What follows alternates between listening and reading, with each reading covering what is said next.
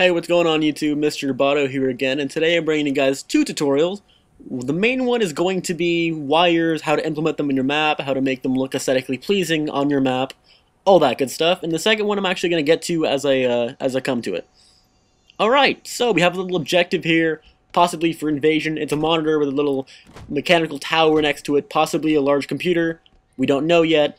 Moving on, we have little wires on the side. The wires actually come out of the computer, out of the monitor, onto the floor, and actually go across an arc to a power source.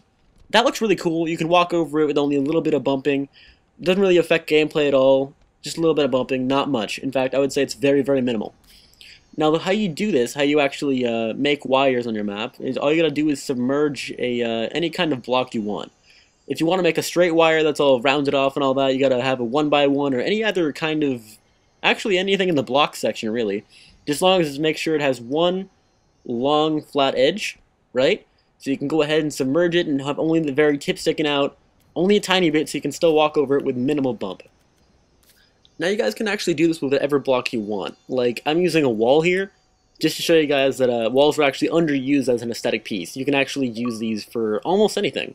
Like, let's say you have a giant wire, you can go ahead and use that that actually is good for a wire covering or to put beneath your wires so it looks like it's a on a little plane or something like that. Um, but yeah, you can use any block you want. Like these right here, these are very nice wall corners. You can actually put them in there like that, and they're like little curved wires, so you can have a giant curve like that. Um, when I say curve, I don't mean like a perfect semicircle or something like that. I mean you can just have little block followed by block followed by block to make it look like it's uh I don't know kind of strewn out across the floor, all that good stuff. Um, I'm just gonna go ahead and delete those. Bring this back up. Now the secret to that is you can have everything on one coordinate plane, but then have the floor just beneath that coordinate plane. So it works like that. That way you can walk over it, everything else is on a coordinate plane, so it's really easy to work with. Just the floor is barely, barely off. It won't give you any kind of bump or anything. It's just very nice. All right, that's uh, that's what we have for wires here. Like I said, you can use it for any kind of objectives you'd like, or just with anything else, like this little radio here. Now with this radio, I actually uh, I built this on a map a while ago, and one of my friends was uh, asking me for a tutorial. So here you go, Rimmer 59 tutorial for you and everybody else on YouTube.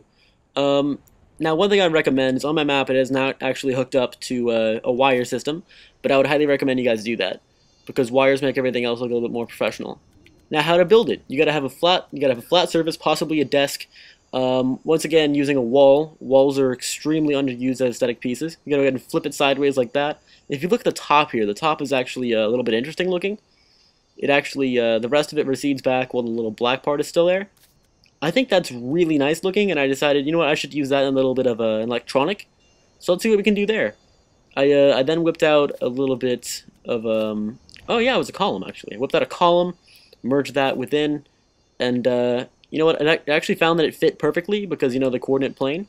And I was like, man, that looks a little weird, so I'm gonna go ahead and pull it out a little bit. Now it looks a little bit better. And right about here, I decided, you know what? I should actually make a, uh, a radio. So I pulled out an antenna, decided to use only the big part, and what you have to do for that is uh, actually rotate the rest of the antenna so that the uh, the smaller and little tube of the antenna is sticking out through the wall. So you can't see, you can only see the big one. Now we're going to go ahead and merge that down a little bit, merge it into the center. Go ahead and bring it up a little bit so we can see the coloring. No, that was actually a little bit too much. Let me break it down. Grab the wrong block. Sorry about that. Alright, I'm just going to leave it how it is for the moment. Uh, let me go ahead and whip out a second one here. Now this second one is actually uh, the same antenna, just a smaller tube. Let's bring it sticking through the middle here. Now, sticking through the middle, you have a nice little looking antenna here. Now, for this little mini, mini antenna for the actual radio itself, so the radio itself appears to have an antenna, let's go ahead and whip out a block. This this brings the uh, the same exact idea as the uh, as the wiring, except now it's gonna appear as an antenna. Like right now, it looks like an antenna because it looks like a wire that's going nowhere. Looks like an antenna. But to reinforce the fact that it is an antenna, let's go ahead and add a little bit of a base to it. If we add a little bit of a base to it, it'll look like oh, that's built in there. It's supposed to be an antenna. So, two blocks, nice little antenna there. Oh, you could also add a flag stand, whatever you want add the button, and that's it. Have a good one, guys.